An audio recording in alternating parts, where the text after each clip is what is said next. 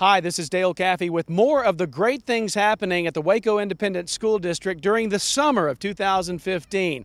I'm out at the Greater Waco Advanced Manufacturing Academy. I'm with Mr. Lara, who is a teacher here. Fabian Lara teaches welding and three soon to be seniors, two of which are from Midway, one from China Spring. This is Andrew, Bryce, and Colton. We'll talk to them in just a moment because they've been doing some actual work out here at the Greater Waco Advanced Manufacturing Academy this summer.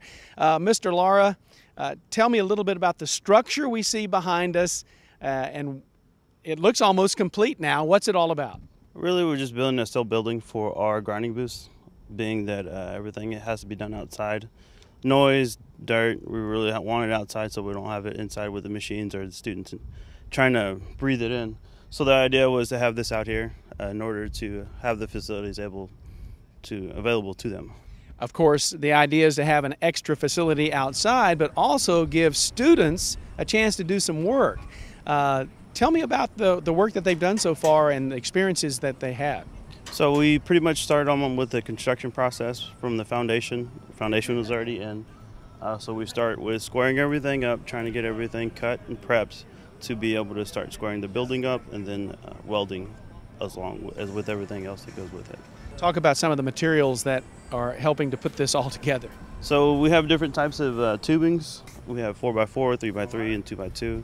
Really are the most uh, structural key components to it and then we, welding them, assembling them in order to uh, build a structure. And it's giving these students a chance to use the welding skills that they somewhat obtained last year here at the Greater Waco Advanced Manufacturing Academy. Talk about some of the, the problems that they're facing and, and, and trying to overcome as they make these welds. Well, uh, being that these guys are new, really, uh, there's a lot of mistakes that had been made, but was just fine because that was the purpose of the program. So working through those mistakes, understanding how and what we can do to be able to fix them uh, was the biggest challenge at first, but now these guys are rocking solid. Uh, so the biggest problem that we have is this tubing is thin.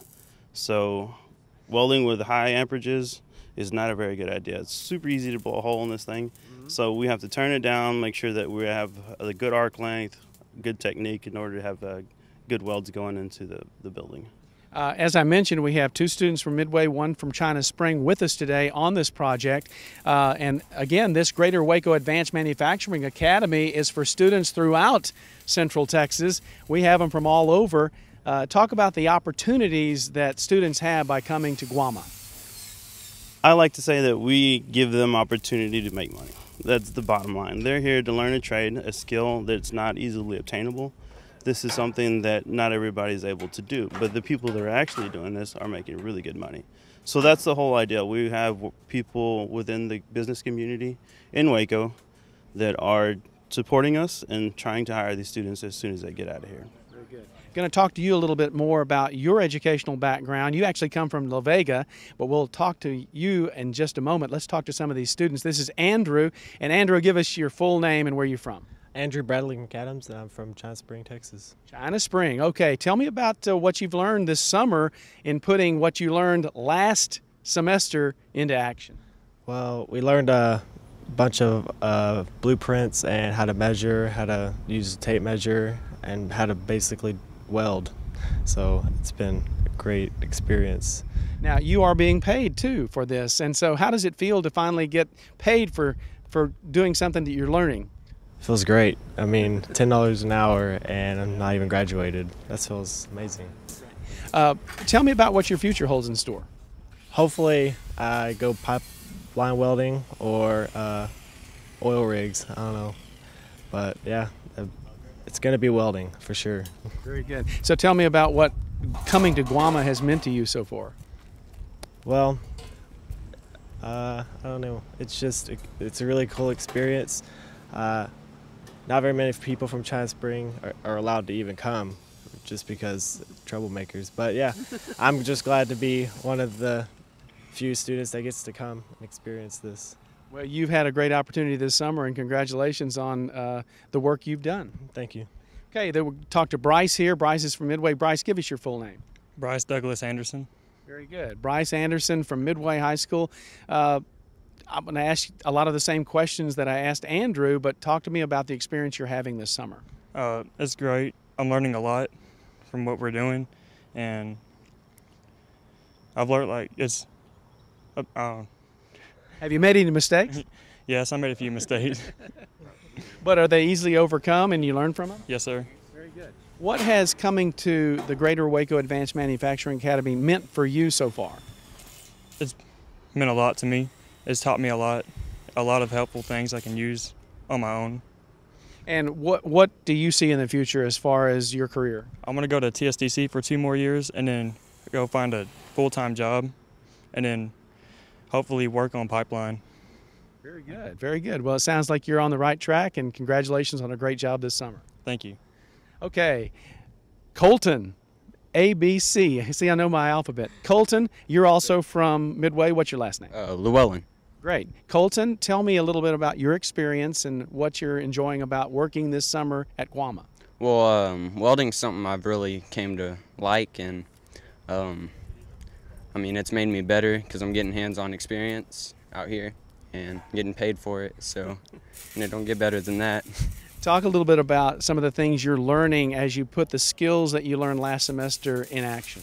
Well, uh, my beads they're getting better. My cuts, everything, measurement. I'm getting better at measuring. Just everything, all around. Very good. Uh, what does the future hold for you? Um, I'd like to go into uh, welding on power plants and stuff like that. Very good. Well, you did a great job, and congratulations to all of you students. Thank you so much for joining us today. Fabian, Lara, this is what it's all about. I mean, you've been around young people for a while now. I mentioned you are a La Vega grad, right? Absolutely. And then you sort of went off to where some of these uh, guys are going to go off to. You did all sorts of construction welding. Talk a little bit about uh, where you went to from La Vega. Uh, so I was in the dual credit program with La Vega. So I was going to TCC, got my first year certificate, the one year certificate out there. Went straight to work right out of high school. I was making uh, 27.50 an hour. It was really good money for 18 year old. The only downside is it's 80 hours a week. So I mean, if you want that kind of money, you're definitely gonna have to put the work in for it. So welder skill directly is in correlation with welder pay.